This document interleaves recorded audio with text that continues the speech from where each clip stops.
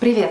Как дела? Сегодня я расскажу вам о морском курорте под названием Клактон-он-Си, в который мы отправились с мамой в ноябре 2016 года на один из выходных дней. Напомню, что 2016 год был трагическим для нашей семьи. В июне у меня погиб брат, и вот в конце ноября ко мне прилетела мама, ну, для того, чтобы оформить документы, вступить в наследство. И так как все эти дела сводили меня с ума, весь груз э, оформления этих документов впал на мои плечи, помимо того, что я еще училась в университете, подрабатывала няней, собаководом, в общем, э, у меня практически в 24 часах не было э, ни одной свободной минутки, поэтому все выходные мы старались куда-то выезжать, мне нужно было отдохнуть душой и телом. В основном это были поездки на море, э, где мы э, всегда наслаждаемся погодой, э, морским бризом, и это как-то нас расслабляет и успокаивает. Поэтому в этот раз мы поехали на восточное побережье Северного моря. Клактон-он-Си, то есть город Клактон на море. Э, сокращенно люди называют его просто Клактон. Это приморский городок в восточном графстве Эссекс. Он является административным центром района Тендеринг, население которого на 2016 год составляло около 57 тысяч человек. Клактон-он-Си находится в восточной части Эссекса в 113 километрах от Лондона и в 48 километрах э, на восток от города Челмсфорд, о котором я вам уже рассказывала, если кто не помнит, смотрите в этом ролике, который является столицей графства Эссекс. Железнодорожное направление обслуживается э, поездами Грейта Англия и связывает город со станцией Ливерпуль-стрит в Лондоне. Автобусные же маршруты связывают Клактон с близлежащими городами, такими как Колчестер и Харридж. Экономика этого города в значительной степени зависит от индустрии развлечений и однодневных поездок на восточное побережье Англии. Здесь очень развита сфера услуг, а также проживает э, огромное количество пенсионеров. В северо-западной части э, Клактона расположено два бизнес-парка. Основная индустрия, в которой задействованы жители э, этого города, является сельское хозяйство а также морские перевозки, так как город находится неподалеку от международного а, порта Харич, о котором я вам тоже уже рассказывала. Если кто хочет посмотреть, смотрите в этом ролике. Итак, рано утром 26 ноября мы отправились э, на станцию Ливерпуль-стрит в Лондоне. А, так как у нас было время до поезда, поезд у нас отправлялся в 9 часов 18 минут, мы решили зайти в ближайшее кафе в туалет. А там оказался такой очень приличный э, паб или бар э, с завтраком за, по-моему, 5 фунтов на каждого. То есть на 10 фунтов мы решили э, заказать full English breakfast и поели в таком достаточно приятном месте. С хрустальными люстрами, в позолоте.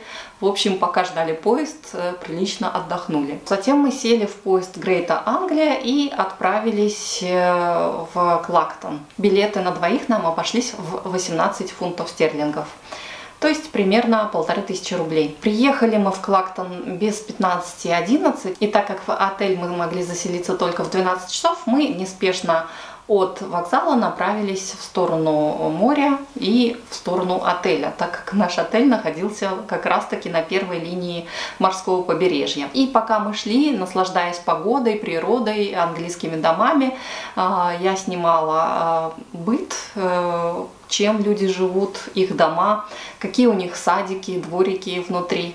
А, а также мы увидели яблоню вот с такими вот яблоками а, рядом с церковью. И достаточно крупный боярышник тоже рос на этой улочке, по которой мы шли. А, ну, видимо, в 12 часов мы заселились и дальше пошли уже гулять э, по набережной, по городу, изучать и познавать этот небольшой курортный городок. Естественно, первым делом я увидела вот эти вот ветряные мельницы, от которых я э, была в восторге еще в Грейт Ярмуте, в котором мы ездили в 2013 году, по-моему. Если кто не помнит, я уже об этом городе рассказывала, смотрите в этом ролике. И э, тоже попыталась поснимать побольше, и как фото, так и видео, но, к сожалению, в этот раз небо было белое, и на белом фоне белые мельницы э, не очень хорошо получились, в отличие от Грейт Ярмута. Э, там было такое штормовое, грозовое небо, и прямо шикарные фотки получились в тот раз. Но я пожалела, что в тот раз я не поснимала их на видео и на фото так же много, как в Клактоне. Что это за ветряные мельницы? Это морская электростанция Gunfleet Sands Offshore Wind Farm. Она состоит из 48 ветрогенераторов суммарной мощностью 173 мегаватт и находится всего лишь в 7 километрах от Клактона прямо в море. Но дальше мы пошли э, по направлению к Пьеру. Это, пожалуй, самая главная достопримечательность города, так как город является одним из популярных морских курортов. Он был официально открыт 27 июля 1871 года и имел длину в 150 метров, а ширина его составляла 3,7 метра. Первоначально он был построен для погрузки и разгрузки грузов и пассажиров, но постепенно, так как город становился популярным курортом, Пьер э, удлинили до 360 метров, были добавлены развлекательные объекты и здесь находится главная прогулочная зона э, как жителей города, так и его туристов. Мы также решили прогуляться по нему и направились в его сторону. Из каких-то окон перед нами прямо упало яйцо и раскололось. Э, мы поняли, что нас обстреливают э, яйцами дети из ближайших домов. Я обернулась так, встала со злым взглядом и сказала, что за дела, Э, я сейчас полицию вызову. Ну, на этом и разошлись. То есть никто из окон не вылез, но мы понимали, что это были дети. Э, немножко пройдя, я обернулась, увидела, что они там сидят уже в этих окошках. В общем, вот так, даже в английских городах, как и в любом детстве, такое развлечение от нечего делать, видимо, а, происходит в Клактон-он-Си. Пока мы шли до Пьера, мы увидели женщину на такой тачке. Ну, пенсионерка, видимо, уже сложно передвигаться, очень много народу в Англии передвигается именно на таких вот тачанках. Мама говорит, я тоже такую хочу. Я говорю, ну давай купим и тебе. Но она говорит, не, мне стрёмно по России на такой передвигаться. Ну, говорит, тоже совсем, когда ноги не будут ходить, куплю себе такую. Ну, конечно, морской воздух, э, хвойные деревья, даже шишки вот такие мы нашли. А, это все помогало нам расслабляться и забыть э, про наши проблемы, про нашу боль.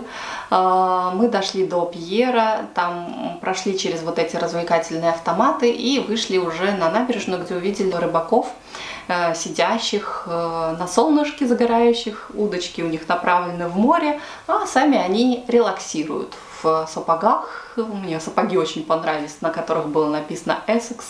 Ну, такие типичные английские рыбаки. Также меня заинтересовала такая ржавая, илистая лестница, которая спускалась вниз. Видимо, по этой лестнице, которая уже заржавела, когда-то спускались люди на корабли э, потому что тогда ходили пассажирские корабли до этого Пьера.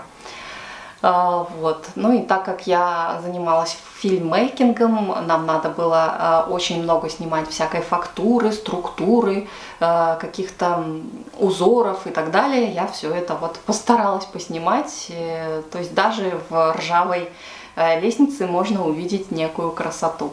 Оттуда я поснимала э, саму набережную, дома в Клактоне, э, девочки катались там на качелях где-то, э, разноцветные вот эти вот пляжные домики. В общем, просто выехали порелаксировать. Никаких музеев, никаких достопримечательностей мы там не нашли. Но так как темнеет в Англии в ноябре уже примерно в районе 4 часов, мы еще немного погуляли по набережной, там нашли э, сад памяти, где стояли еще вот эти вот попис, э, то есть маковые поля, это у них такой символ, э, как наша георгиевская ленточка, символ памяти их солдат, погибших в различных войнах. Погуляли по саду, обратили внимание на интересную беседку. В саду мы нашли вот такую вот табличку, типа «А ты убрал за своей собакой?»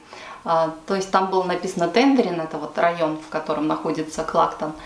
И надпись, что не забудьте убрать за своей собакой. Иначе э, штрафы в Англии за то, что вы оставите собачьи отходы на газоне, особенно в парке, очень большие, около тысячи фунтов.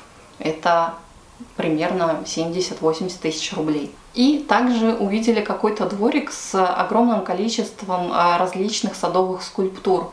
Я это тоже поснимала. Мы сначала подумали, что это музей, но вроде бы как было написано private, поэтому мы не стали там ломиться во все двери, чтобы зайти и пообщаться, посмотреть, что же это за выставка такая. Видимо, а, может быть, это какой-то магазин, продают вот таких вот гномиков и скульптуры различные пиратов и других а, героев на этом участке. А также рядом я нашла э, вот такой вот э, постбокс э, для писем, то есть почтовый ящик. Э, сняла его очень близко, он стоял рядом с красной телефонной будкой.